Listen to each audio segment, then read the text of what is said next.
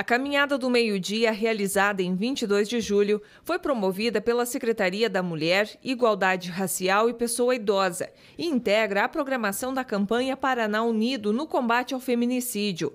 A iniciativa teve ações tanto na capital e, simultaneamente, em outras regiões do estado no sábado e na segunda-feira, Dia Estadual de Combate ao Feminicídio.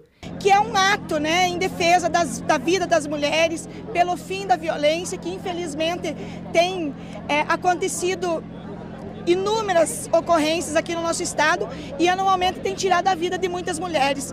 E eu tenho certeza que quando uma mulher é vítima de violência e ela consegue sobreviver, ela não é a única pessoa que sofre toda a sua família também é vítima, mas toda a sociedade também é vítima.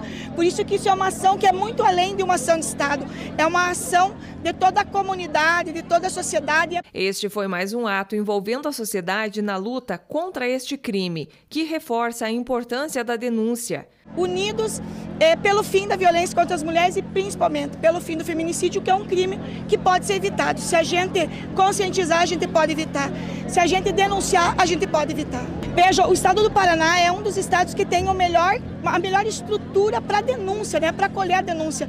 E as campanhas que a gente tem feito frequentemente também tem conscientizado né, e encorajado as mulheres a fazerem a denúncia, porque o Estado tem oferecido proteção às vítimas, tem punido o agressor com o objetivo de salvar vidas. Autoridades orientam, em caso de flagrante ou que a situação de violência esteja ocorrendo naquele momento, ligue para o número 190.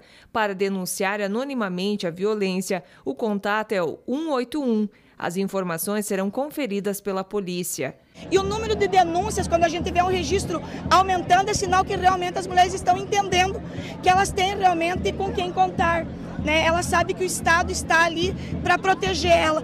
E eu vejo que a operação que foi feita pela Secretaria de Segurança Pública do Estado do Paraná, prendendo mais de mil agressores, já é uma resposta também no sentido de que a impunidade não prosperará.